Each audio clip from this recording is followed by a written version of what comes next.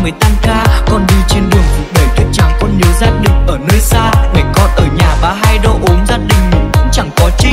Các em của con chỉ hằng mơ ước gia đình chúng có cái tivi. Vẫn là con trai con phải bước trải phải đi làm việc ở xa quê. Ngày ngày tháng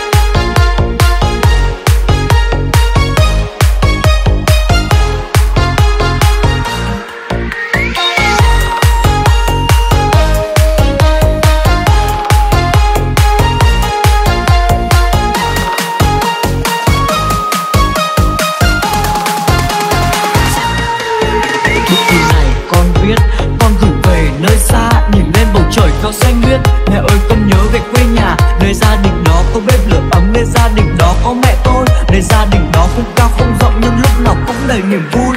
Chợt hôm nay con khóc, bỗng dưng con nhớ về gia đình. Chợt bỗng hôm nay con thấy xa lạ khi bước ra ngoài lúc bình minh. Không biết ở nơi phương trời xa đó cha mẹ con có được khỏe không? Không biết các em con có được vui tết này như bao đứa trẻ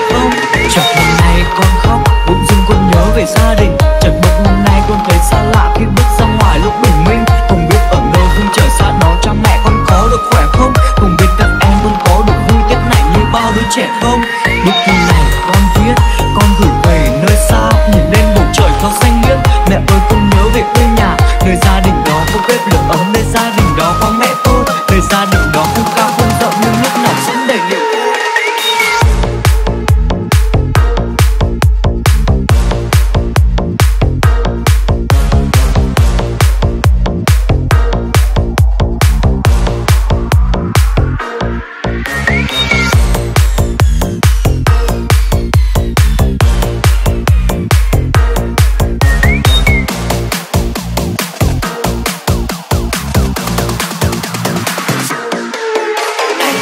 tuyết trắng xuân đến cũng chẳng thấy hoa đào. Anh em con bảo nhau cố gắng, đêm về mấy thằng khóc nhìn nhau. Ngày con xa nhà, con thấy mẹ khóc nhưng con trai vẫn quyết ra đi. Rồi mỗi lần nghe tin con vẫn ổn, mẹ vui mà lệ chẳng đôi mi.